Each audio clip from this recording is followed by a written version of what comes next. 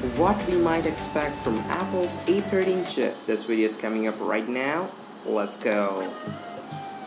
We are still a long way away from hearing anything official about Apple's next system on a chip.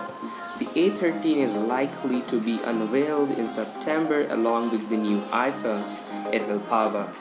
But the design, manufacture and testing of these chips takes years far too long for Apple to suddenly make a radical changes. The A13 design is likely for all intents and purposes set in stone by now. By looking at the past A series chip and extrapolating from what we know of the manufacturing process Apple will use this year, we can get a reasonably picture about what to expect from A13 chip it will almost certainly be the fastest SoC Apple has ever developed by iPhones, but exactly how fast it can be. For the A13, we can accept Apple to stick with its manufacturing partner TSMC, which has a firm lead in chip manufacturing technology. But TSMC is not yet ready to make another chip to a new chip process node as it did in jumping from 10 nanometers to 7 nanometers last year. The 5 nanometers transition will probably be ready in time for the 2020 iPhones, but this year's model will still be built in a 7 nanometer process. That doesn't mean we can't expect any improvements on the manufacturing side. TSMC is currently ramping up its 7nm plus process which uses EUV extremely ultraviolet lithography for some of the chip's layers. It should allow chips with better density and more power efficiency.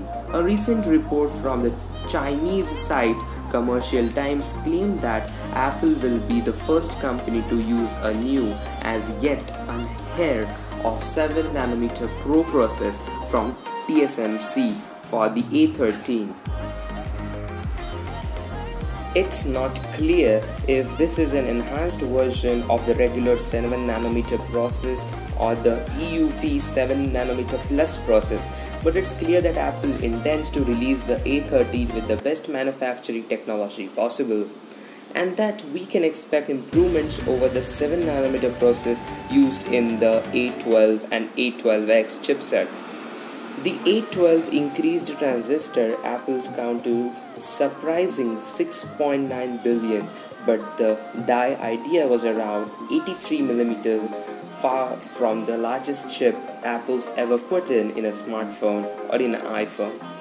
In fact, it's the smallest iPhone chip in terms of area in 9 years, and the A5 and A10 were each over 120 millimeters.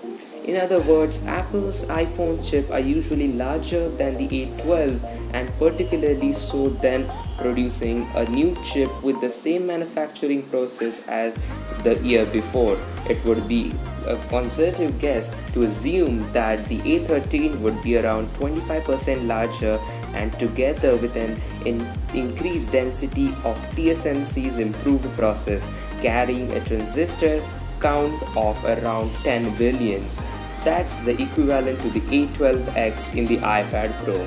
So guys, hope so you have liked this video. If you have liked this video, don't forget to share this video, subscribe my channel and stay tuned for more videos. Until then, peace.